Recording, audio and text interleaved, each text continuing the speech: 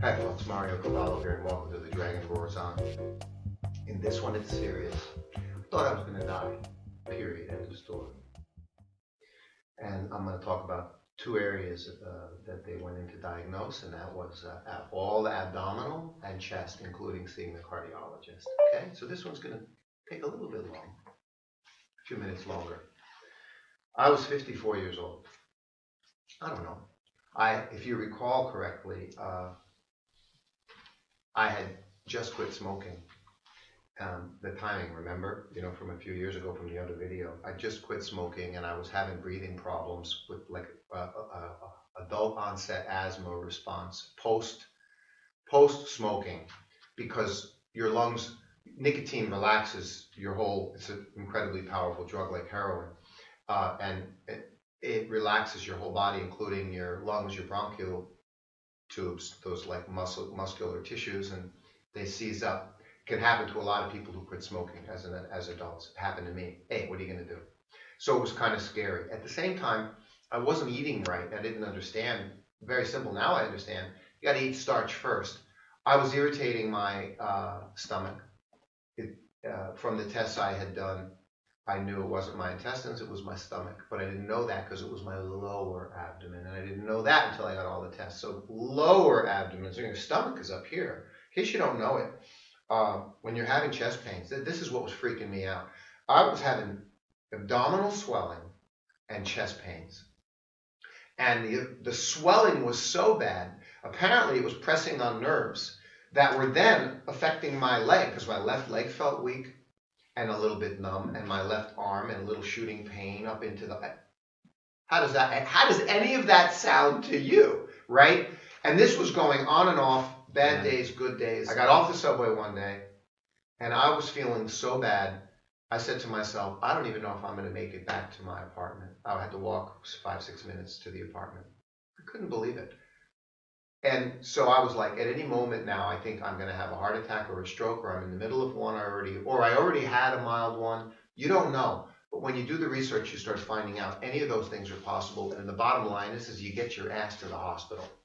So I present myself at the hospital in Pudong, Renji Hospital, number one level hospital, and told the lady sitting there exactly what I just told you. And the woman, she gets this look on her face, the nurse. She's like, uh, we're more worried about you than you are. Would you take this huge fistful of pills and go lay down and stay and just lay down. Just please, will you go find a bed over there and frickin' lay down and, and, and stay? Will you stay overnight in the hospital, 24 hours observation? We're gonna hook your heart, hook your hook you up for observation for your heart and start doing tests to find out what's wrong. We don't know what's going on. If you're lucky, it's the minor gas, gastritis abdominal type problem, but who knows what's going on? I mean, you're a man in your 50s, and this is what I'm thinking and I got a beautiful wife and a beautiful son. Hey, folks, lots of men dropping dead in their 50s and 60s. This is the truth. So I'm freaking scared. They said, you need a full battery of tests. This is diagnostic. So we're back again to x rays, CT, MRI, and also ultrasounds, and blood work, and uh, endoscopy, where they got to take a look down your esophagus into your upper abdomen, and uh, colonoscopy, where they got to look up and look into your intestines to find whatever the heck is going on. It all makes sense to you, right? This whole ordeal cost me a total of about 1500 US dollars over the course of the next month. Thank you, God. The first things that they did was let's let's confirm you're not about to have a. I mean, this was very sensible. Okay? And you know, we need to be intelligent about our healthcare. The very first thing was let's confirm you're not like about to die. Okay? So that means you're not about, let's see, you're about to have a stroke or you're about to have a heart attack. This was the top priority. You know, uh, you got a clot somewhere, it's going to come loose and you're dead in a minute, right? Anything, aneurysm they call it, all these kind of things.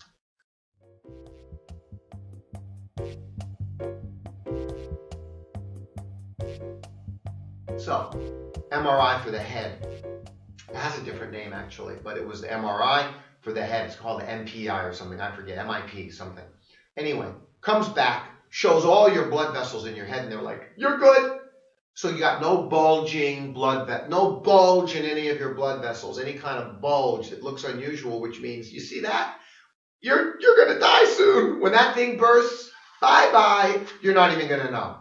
Or or a stroke, right? Nope, nothing. One down. Let's go. Carotid arteries. My aunt back in New York, she had her carotid arteries were getting thick. Okay, that uh, uh, when you get older, that can happen, and that can mess up the circulation. Plaque in your carotid arteries, they clean it out. Again, very dangerous, leads to strokes. They check carotid arteries, ultrasound, no problem. Heart, of course, I got referred to the cardiologist as well.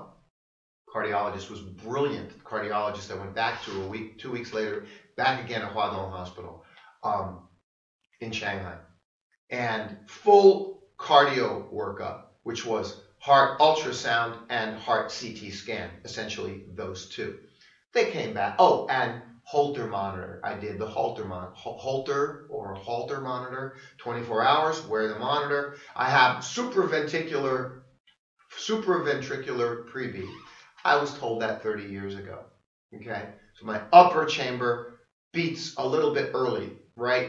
Not dangerous. Lots of people have this kind of little bit of arrhythmia. Okay. Cardiologist, point blank. I'm into the cardiologist. I got chest pain. I'm going to die. I'm freaking worried. He looked at me and he said, You have absolutely nothing to worry about regarding your heart. Your heart is not going to kill you. End of discussion. I go, What other tests do you want to run? He said, I don't want to run any other tests. I'm done. I'm informing you. So you need to make sure you understand what I just said. Whatever the hell you're feeling when you feel chest pain, you're not about to have, a heart attack. And you need to get that through your head. It's something else. I'm like, Okay. Good. And I did. And he said, if you can't calm down, you're going to need anxiety medication. I says, no, no, no, no, no. I, I don't, I don't need any medication. I'm fine.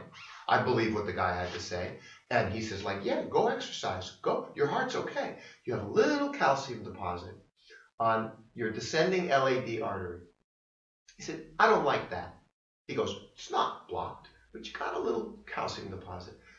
Folks, CT scan 30 years earlier, the doctor told me about that calcium deposit. So I knew about it and it hasn't changed. Okay, so you see, I understand clearly there's not a big problem, but I know what it is. He did want me to go on the statin drugs for a year. He said that would dissolve that calcium deposit. I didn't, I did, and I did go on the statin for a while. I didn't want to stay on it. Side effects are nasty. You feel tired, your legs feel heavy, and it's not that important.